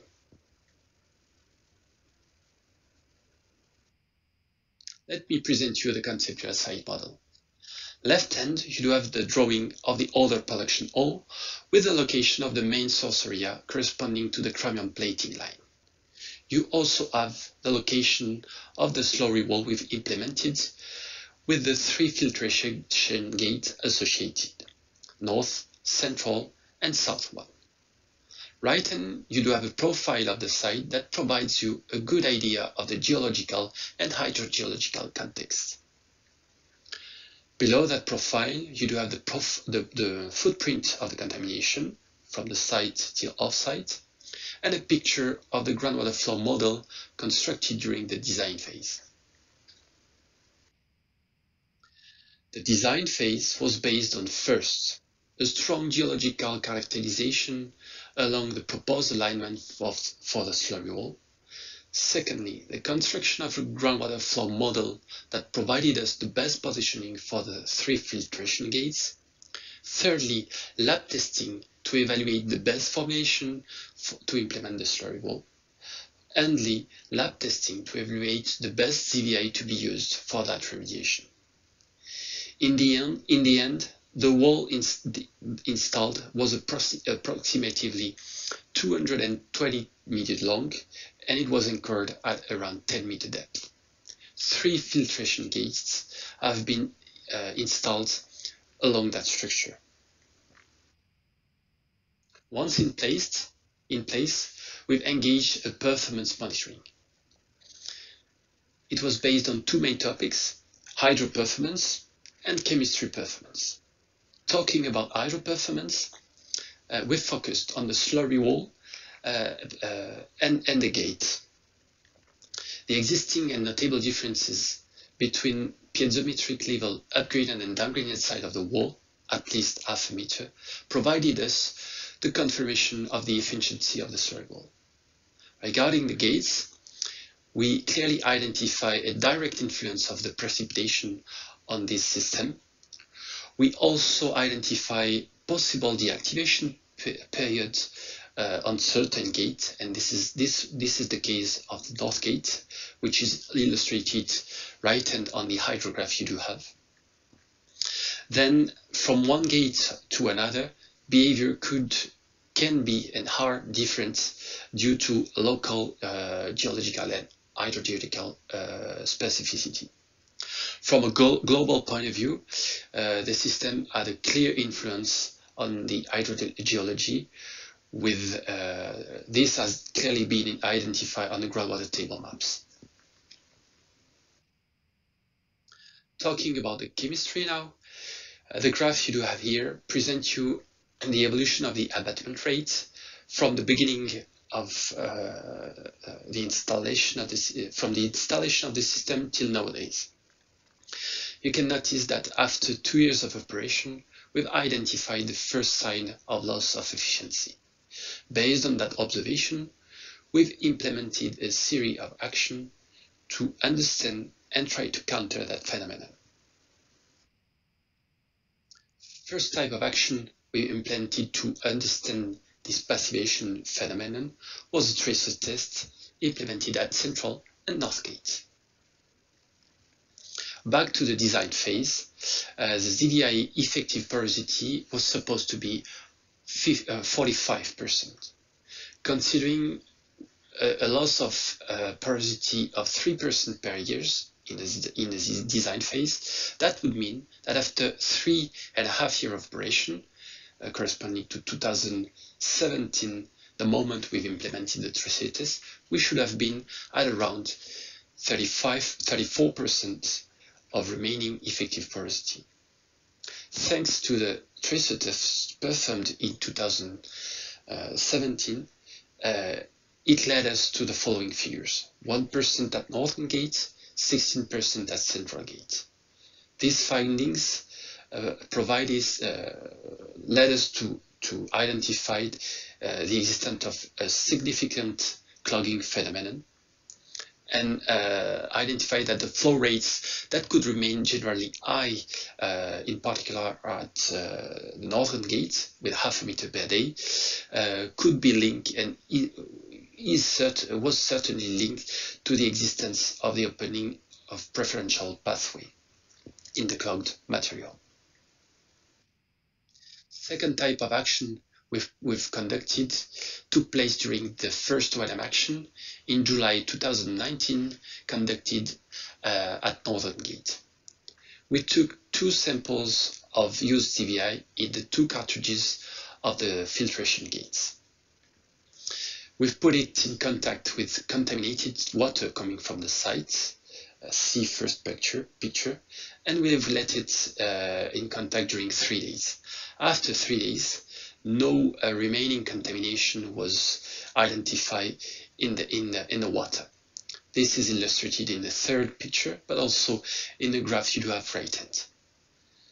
Based on that, it was clear that the ZVI extracted from the system was still active, and the loss of efficiency uh, identified in the curves, uh, uh, in the abatement curves I've just presented you, was not so evident. Starting that moment, we've talked about apparent passivation. Last type of action we've, we've conducted was uh, tests with a laboratory, the laboratory of UD La Salle University. The objective here was to understand the clogging phenomenon by first identify the nature of the precipitate uh, present in the in the clogged material in the ZVI. Secondly, identify possible natural components that may interact, interact and or come from the contamination in the groundwater. Thirdly, evaluate the existence and the importance of the preferential path flow phenomenon. For that, we used different type of methods uh, from the X-ray diffraction analysis, passing through optical microscopy till scanning electron microscopy. Regarding precipitated phases that we've identified. First, iron precipitated were clearly identified with the formation of oxide, magnetite and hematite, and hydroxide, goethite. Calcite has also been identified at the inlet and the outlet of the system, but also at the top of the cartridges. This was clearly linked to the geochemistry uh, context, upgradient side and downgradient side of the system, but also uh, certainly linked with due, due, to exchange with the atmosphere at the top of the of the cartridges that could have been in contact with oxygen. We've also identified a chlorinated organic phase that could correspond to a new mineral, but this remains a question at this stage. In the end, a portion of residual ZVI reagent is still very abundant in the system. However, it is systematically covered with an alteration layer that can then tend to decrease or even inhibit its remaining uh, reactive uh, potential. Talking about natural components and or component coming from the contamination, the analytical methods indicated that the presence of dissolved carbon uh, dissolved ca calcium carbonate in the water that could explain the formation of uh, calcite, of chlorinated organic compounds, clearly linked to the presence of VOX uh, contamination, but also oxygen, uh, for sure at the origin of the formation of oxide and hydroxide. We've also identified aluminium, uh, certainly due to the initial composition of the ZVI. Chromium has not been detected as pure phase, uh, but it is for sure fixed by the ZVI looking at the abatement curves I've presented you. This absence of this, detection is certainly due to the substitution of iron 3 by chromium 3 in the magnetite oxide. The crystallization system we're talking about here is named spinel. Last type of uh, testing we've conducted uh, used the, the uh, electronic microscopy. The objective here was to evaluate uh, the, prefer the preferential path flow phenomenon. For that, uh, but that test has been conducted on hard sample uh, only, where the porosity was generally reduced and the permeability as well, uh, due to uh, the, the, the, the, presence of crystallized bridges uh, formed between the ZVI grains. This is what is illustrated right hand. As a reminder, the design porosity, uh, the design was considering a porosity of 45%. Here, uh, the loss of porosity has been um, evaluated at 10% using, using that technique, meaning the, remi the, meaning the remaining global porosity is around 35%. Uh, percent. So after seven years of operation and one ONM event, here are some lessons learned we can share with you. First, the fungi system as a passive system presents a high sensitivity to its environmental, to its environment, weather, geology, hydrogeology, geochemistry. As a consequence, and for a good understanding of the system, in such a complex geological context, it's important to develop a deep and adaptive performance monitoring program along the time. The more data you will collect, the better you will understand your system. And for that, you can use data management tools. In the present case, the occurrence of precipitation leading to the clogging of the ZVI, essentially due to hydroxide formation, with, a consequence, with the consequence of an apparent passivation of the reactive, could be countered by the injection of an organic compound or nitrate-free water flushing. But this is something we have to assess. Mineralogic approach is a good tool to be considered. In our case, uh, it provided us a better understanding of the clogging phenomenon. Finally, it's important to consider a certain flexibility on the system during the design phase to allow adaptation during the ONM phase, which will depend on what observations you will realize during the monitoring phase, but also the ONM phase itself. Thank you for your attention.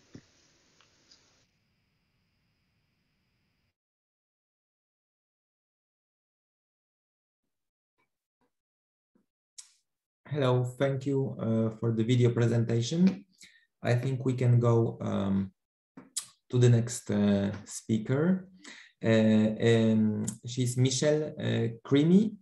Uh, Michelle is the Dean of the Graduate School and Professor uh, of Civil Engineering at uh, Clarkson University. And um, she has been developing and evaluating technologies um, and approaches for treatment of contaminated groundwater. she also represents the US Department uh, Uh, of defense uh, different research programs.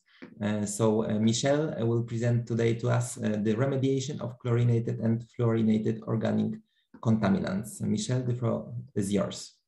Thank you very much. Hello, everyone. Can you hear me okay? Yes, yes, yes, we can hear you and we see the presentation full screen. Wonderful. So it's an honor to be here today representing the US Department of Defense's Strategic Environmental Research and Development Program and Environmental Security Technology Certification Program, or SERDP ESTCP. Today, I'll be talking about some of the lessons learned from nearly 30 years of DoD investment in treating chlorinated contaminants in groundwater and how those lessons learned are applying to the way that we're now addressing more challenging fluorinated compounds.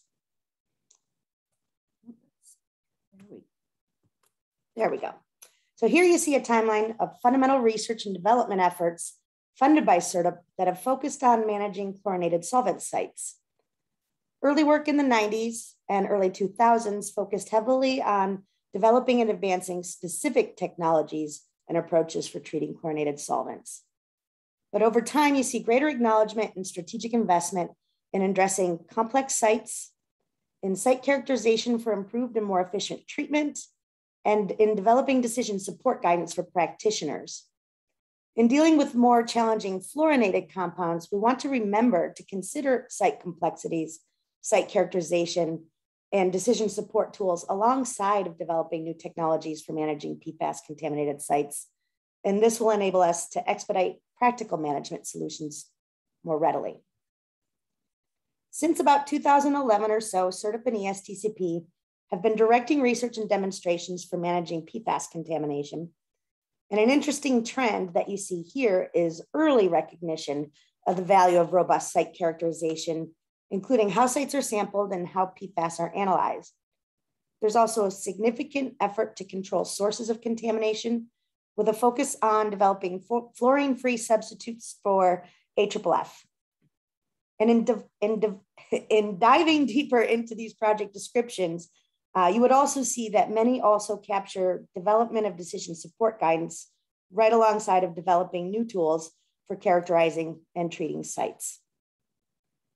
To learn more about the development and advancement of approaches for treating chlorinated solvent sites, I recommend this report by Tom Sale and colleagues that captures some frequently asked questions. I just want to point out a couple of quick things. First, the figure on the left points to key paradigm shifts that have occurred over decades of lessons learned in site remediation.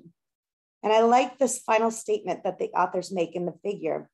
The best news about being better informed is that we can now avoid the mistakes of the past. And with the daunting challenges presented by PFAS contamination, these paradigm shifts give a sense of optimism that we can move faster with these fluorinated compounds. In the figure on the right, you see the shift in focus of remediations of remediation efforts over time for chlorinated sites, how the efforts of the earlier stages drove greater understanding of the full scale of the challenges over time, and I would argue that while we're still learning a lot about PFAS contamination and the full scale of the problem, we are tuned into the fact that we need to look for some of these focus areas in parallel rather than serially. And there's another factor that makes me optimistic about our ability to develop solutions for PFAS. This is a great study published by Chuck Newell and colleagues that gives an indicator of the relative level of effort to clean up PFAS contamination relative to chlorinated solvents and other key contaminants.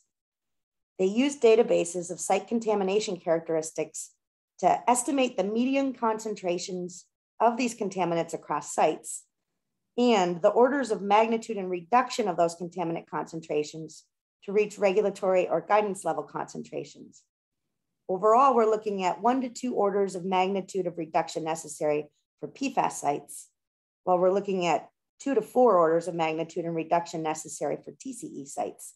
So once we do have a robust suite of technical approaches to address PFAS, perhaps they will ultimately be less challenging to manage than TCE has been across the board. So with the remainder of my time today, I'm gonna highlight a few projects funded by SERDP and ESTCP to manage chlorinated solvent sites that have given us some key lessons to adopt in developing PFAS treatment approaches and along with a, a couple of quick examples of such approaches. Now to make my life a little bit easier, I conveniently focused on projects that I've been directly involved in with a nod here on this slide to my collaborating partners. But I do really want to point out that these are just a couple of quick examples of a large portfolio of SERDP and ESTCP projects that a broad array of both academic and practitioner researchers rely on as a base going forward. So the first project I'll touch on is the use of polymers for improved delivery of chemical oxidants. The goal in this project was to demonstrate the use of xanthan gum to improve chemical oxidant delivery. Never would I have guessed that this would be the third presentation today to reference xanthan gum. Xanthan offers a viscosity differential that promotes movement of solution into layers of lower permeability. So the value of adding xanthan is shown here in this lab study. This shows you the delivery of dissolved red dye to a stratified media spanning three orders of magnitude in hydraulic conductivity. You see the dye pass primarily through the highest permeability layer, even after two full pore volumes of throughput. Now on the right-hand side, 800 milligrams um, per liter of xanthan gum was added to the dye solution, and you can see the remarkable difference in the movement of the dye through the layers of media. This approach was demonstrated in an ESTCP funded project at Camp Lejeune in North Carolina. At the site, which had a heavy contamination by PCE from former dry cleaning operations, we set up two plots. A test plot where permanganate, xanthan gum uh, were delivered, and a control plot where only permanganate was delivered. So injection occurred at the center of each plot, and after delivery, soil cores were taken across both plots in three transects each. A, B, and C. Now, because of the purple color of permanganate and the brown color of the permanganate byproduct, we could readily log the presence and absence of oxidant for each of the soil cores, which was then confirmed by chemical analyses. And these were then mapped with distance from injection, marked IW4 in the control plot and IW3 in the test plot, along each radius away from injection from the uh, in, in the transects. So these are just one example of these map, maps for each plot, these transects. And you can see in the control plot that the oxidant passed through very specific depths within the media with little measurable oxidant further away from injection. As expected, the oxidant passed only through the most permeable layers, but results for the test plot containing polymer on the right-hand side show much more uniform delivery. Only the least permeable layers didn't see oxidant. So results were then extrapolated to create these 3D plots to estimate the percentage of the treatment plot contacted by oxidant or the sweep efficiency. For the control plot, only 33% of the volume was estimated to be contacted by oxidant, while in the test plot, we saw double the sweep efficiency or about 67%. So in short, a straightforward addition of inexpensive polymer to our amendment solution had a very strong influence on our ability to treat the contaminated soil and groundwater. And key lessons to carry forward from this project are that site characterization is critical to the success of treatment and that coupling approaches, here viscosity modification with chemical oxidation, can facilitate treatment of recalcitrant compounds. Our second case study, the horizontal reactive media treatment well, or the HRX well. The HRX well, developed and patented by Arcadis, is a large diameter well oriented horizontally in the subsurface in the direction of groundwater flow. The well is filled with reactive media that will actually treat contaminants as the water passes through it. It's particularly appealing because the technology is completely passive. Water follows the path of least resistance through the well requiring no pumping at all. Flow is focused into the well.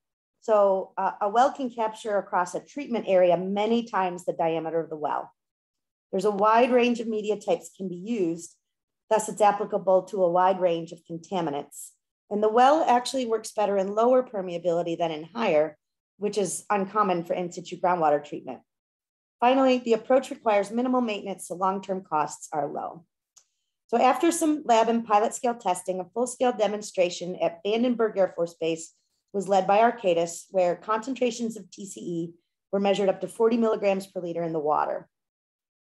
Zero valent iron or ZVI was used inside of the well to destroy the TCE. So based on preliminary models ahead of the demonstration, we expected about 17 meters of water capture width by the 30 centimeter diameter well. You can see the thin well at the midline of the picture here with the estimated capture in red.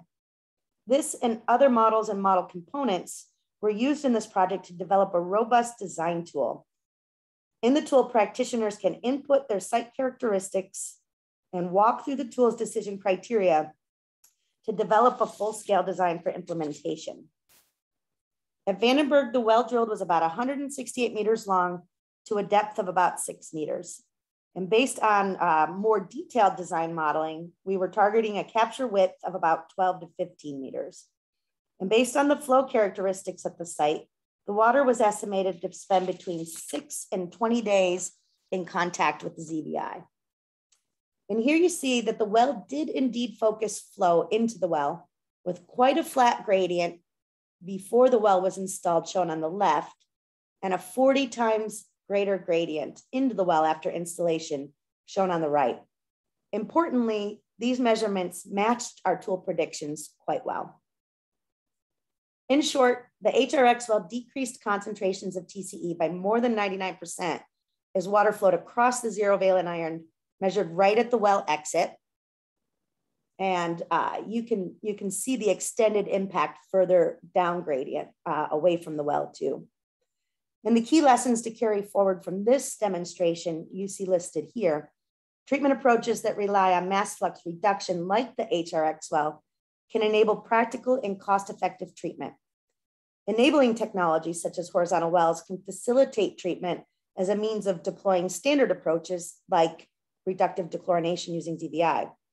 Finally, when design tools are developed and validated during field demonstration, these can go a long way toward facilitating technology transfer and adoption. So moving on to a couple PFAS focused projects with a quick acknowledgement to my collaborating product, uh, partners shown here. When we started looking at approaches to treat these more challenging fluorinated compounds, we really had to acknowledge early on that while we can carry key lessons forward, there's also some important differences between fluorinated solvent sites and PFAS sites. First, PFAS are simply more recalcitrant. So we need new ways that we can deploy aggressive physical chemical treatment processes that are different than those that we use to treat fluorinated solvents. And because we need more aggressive treatment approaches, this translates to potentially higher cost. Thus, we have an even greater need to consider coupling approaches or combined remedies that'll allow for improved efficiency. And because PFAS are found pretty much everywhere at low concentrations, and because our target treatment goals are extremely low, the need to understand site conditions and to consider mass flux reduction approaches are even more critical.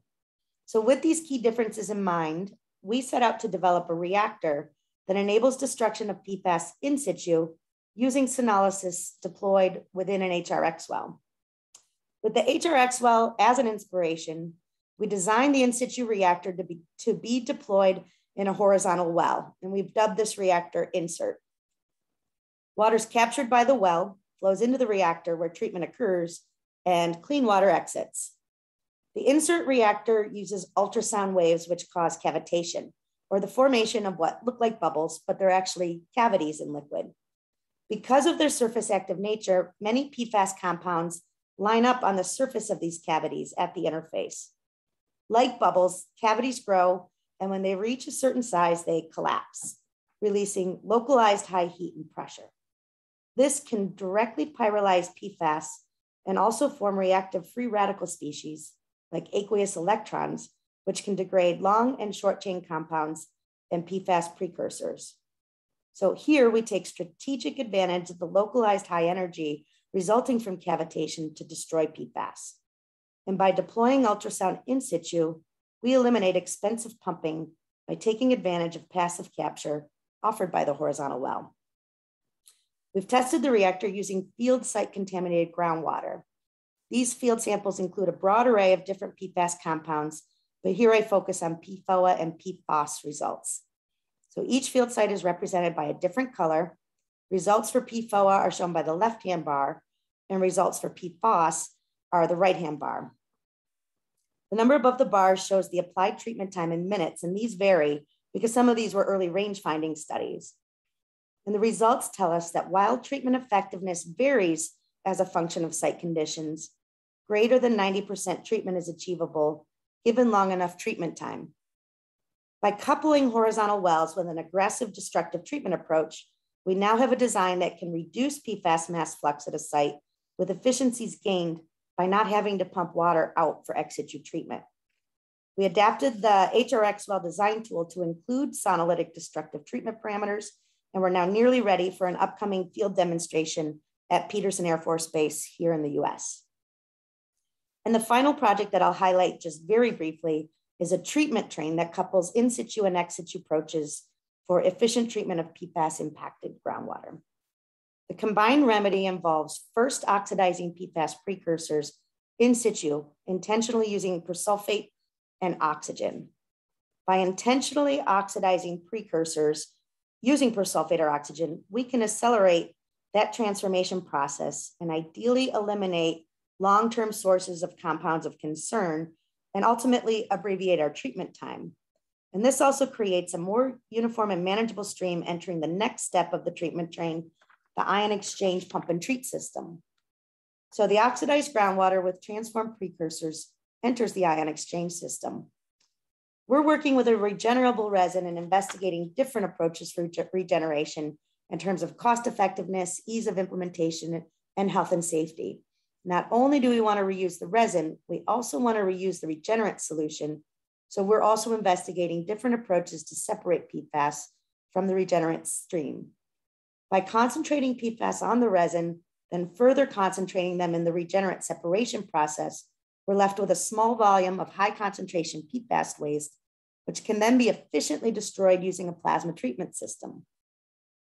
So this is a near complete project. Uh, we've had good success in advancing each step of the train.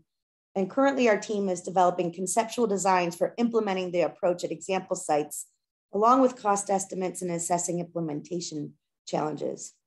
The ex situ components of the treatment train have been successfully field demonstrated at Pease Air Force Base in the US, and, and that project report is nearly wrapped up and will be publicly available soon. So in summary, our lessons learned from years of developing approaches for treating chlorinated solvents are helping us to advance remedies for PFAS contamination. And I believe that we'll see accelerated development of technologies and approaches when we remember and adopt these key lessons in our path forward. Thank you so much. Uh, thank you very much, uh, Michelle. Mm, I'll give the floor now to uh, Deyi. Um, hi, um, everyone.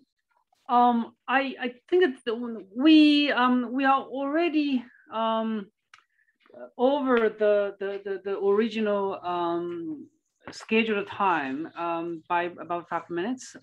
Um, I mean, I, I would encourage our participants to um, to email questions to our speakers. Um, and we can probably quickly go through um, maybe one question for each speaker. So we can have like seven questions. Um, I will first ask um, our first two speakers um, a quick question that I connected from the chat room. For um, Ahab, uh, one question was asked, if the gel displaced the groundwater uh, and uh, was still it present one month later, um, could you give a quick answer? Yes, I actually answered this in direct messages, but I will answer it publicly. So I said that that the what what uh, Guy says said is correct, and actually during the the first injection of gels, we could sample water through the monitoring wells, but after injecting the whole volumes, only gel came out from uh, through the monitoring wells actually, and we considered that the the the the, the, the collected samples actually were for uh, groundwater samples. Okay, thank you, Ahab. Uh, next, I will ask Craig a quick question. What is the remedial strategy for groundwater contaminated with mixed contaminants? Well, uh, can you repeat the question? What is the remedial strategy for groundwater contaminated by a mixture of contaminants? Okay, the, the strategies that we used, uh, most of our uh, contaminants were all, uh, you know, the chlorinated solvents. Um, the reason we used different technologies was because one, uh, different clients wanted to try different things. So some people had the money for in situ thermal, Uh, for other uh, companies, the goal was to clean up the vadose zone. So that's why we used air sparge and soil vapor extraction. And then eventually more of these technologies just became available. So we went from um, potassium permanganate to eventually EZVI uh, when it became available. So it's basically a decisions made by uh, the finances for the and goals for each situation and what's becoming available as we move forward through the evolution of these uh, systems. Okay, thank you, Craig. Now I hand it to David. Thanks, Deyi. Um, I have also one question each. I think Christoph already answered one of the question in the chat box. Uh, but my question is, um, how do you inject the uh, sodium sulfate and uh, iron sulfate? Are they mixed or in series, one after the other? Is Christoph around here? Uh, all right, okay. For time's sake, I'll move on to uh, one of the question for Marta. Um, so the question was, uh, the biochars have no impact yes, but the heat treatment in the preparation process may have some effect. Do you think the volcanic stuff or zeolitic soil can be combined with it? Oh, uh, maybe it's in the box of the, okay. Yes. Maybe I've read it, okay. Um, yeah. yeah. the preparation uh, surely have an impact on the morphological characteristics of the biochar. Uh, we have chosen the one prepared with the higher temperature because it was the one closer to the activated uh, carbon. So we tested before a commercial one and uh, for the absorption mechanism, it was the best uh, performances uh, was um, the pinewood biochar, uh, especially for the um, micro and um, also for the graphite-like structure. So I cannot answer to the question about the zeolite because uh, I've never worked with them. So uh, the only thing I can say uh, is that uh, we have also an influence on the pH of the, solution. The solution so we have to uh, have a look always on this when we work with biochar. So maybe with also with zeolite and other other things. Thanks, Martha. I'll move on Thank to you. Sophie quickly. Um, a very brief answer for Sophie. Um, so the question is, can, can fluorescent dyes measured using in situ fluorometers placed in different wells to be used for more detailed site characterization? Or is this methodology not often used hence may not be um, useful in this context. Uh, is Sophie around? Yes, I am here. Uh, yes. Do you hear me? Yes, I can hear you. Okay. Well, indeed, fluorescent dyes are largely used in the characterization of fracture aquifers geometry already, mm -hmm. uh, but they are not used as partitioning tracers yet. Uh, the mm -hmm. question she says is that uh, you uh, the partitioning inter interwell tracer test is uh, is an interwell. There's a lot of a lot of wells that can interact in, in this uh, in this characterization. It could be useful, uh, yes, to use fluorescent dyes. It could be useful, yes. It can, it wasn't being tested yet, but that is why I'm doing this research research to later apply it in in other place, in other. Thanks, thanks, Sophia. And over to you, Pierre. Uh, yes, uh, I, I, have a question for uh, Julien. Uh, what is the effect of the gate clogging on the overall groundwater plume migration? Uh, so Julien, if you're with us. Yes, I'm here. Uh, yeah, the effect uh, on the site is good. Uh, if we consider it stops clearly the, the, the contamination coming from the site in the source area, uh, located up gradient site. Uh, but then talking about the plume down gradient side, if we consider the mass of pollutant that was already in place there, it, it is necessary to have some actions on it, like like system of injection or or things like that to to remediate that that area as well. Okay, thank you uh, very much for these additional hints. And uh, the, the, last question, I'm rushing to uh, Michelle um, from the public. Um, somebody was wondering uh, how and what do we consider before choosing a particular remediation destruction technique between uh, um, sonolysis or uh, plasma, for example, in case of PFAS? Yeah, that's a really great question. I did pop a quick response uh, into the chat um, because I thought we might run out of time.